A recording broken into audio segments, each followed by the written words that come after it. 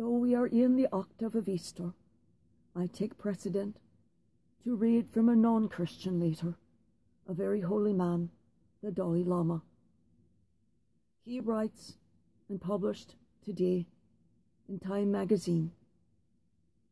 Sometimes friends ask me to help with some problem in the world using some, quote, magical powers, close quote. I always tell them that the Dalai Lama has no magical powers. If I did, I would not feel pain in my legs or a sore throat. We are all the same as human beings, and we experience the same fears, the same hopes, the same uncertainties. From the Buddhist perspective, every sentient being is acquainted with suffering and the truths of sickness, old age, and death. But as human beings, we have the capacity to use our minds to conquer anger and panic and greed. In recent years, I have been stressing emotional disarmament to try to see things realistically and clearly without the confusion of fear or rage. If a problem has a solution, we must work to find it. If it does not, we need not waste time thinking about it. We Buddhists believe that the entire world is interdependent. That is why I often speak about universal responsibility. The outbreak of this terrible coronavirus has shown that what happens to one person can soon affect every other being but it also reminds us that compassionate or constructive act, whether working in hospitals or just observing social distancing, has the potential to help many. Ever since news emerged about the coronavirus in Wuhan, I have been praying for my brothers and sisters in China and everywhere else.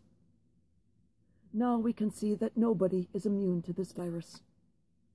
We are all worried about loved ones and the future of both the global economy and our own individual homes. But prayer is not enough. This crisis shows that we must all take responsibility where we can. We must co combine the courage of doctors and nurses are showing with empirical science to begin to turn this situation around and protect our future from more such threats. Keep up to date on the growing threat to global health by signing up for our daily coronavirus newsletter. In this time of great fear, it is important that we think of the long term challenges and possibilities of the entire globe photographs of our world from space clearly show that there are no real boundaries on our blue planet. Therefore, all of us must take care of it and work to prevent climate change and other destructive forces. This pandemic serves as a warning that only by coming together with a coordinated global response will we meet the unprecedented, unprecedented magnitude of the challenges we face.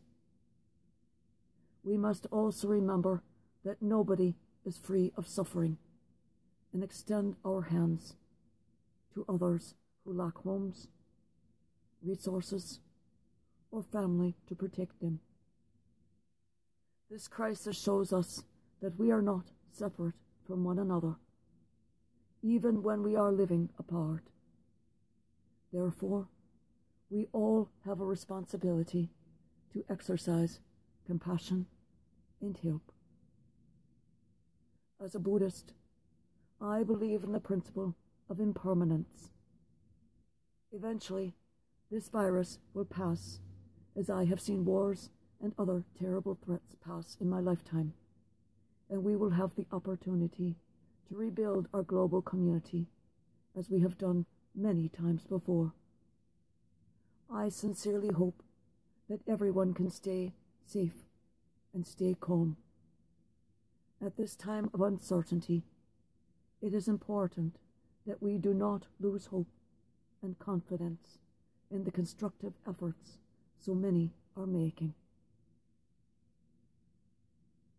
My additional words to the Dalai Lamas. When you are afraid, you may act irrationally. Do not let fear rule you. Do not let it act, cause you to act irresponsibly. Do not let it cause you to act stupidly. On a recent call in show, someone asked if they should be using kitchen cleaners on food. This obviously is someone being ruled by fear. I know none of my followers is so silly as to think these things.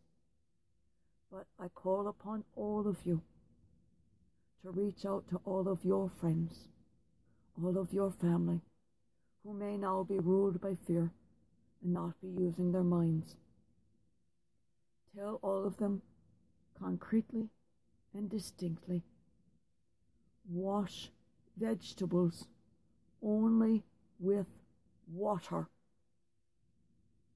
Never, ever use anything but water to clean anything you will eat.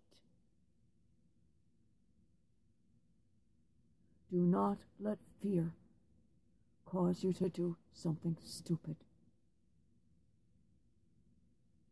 If you feel you are acting improperly, if you feel you are losing control because of fear or panic. Call 911 and ask them to send help.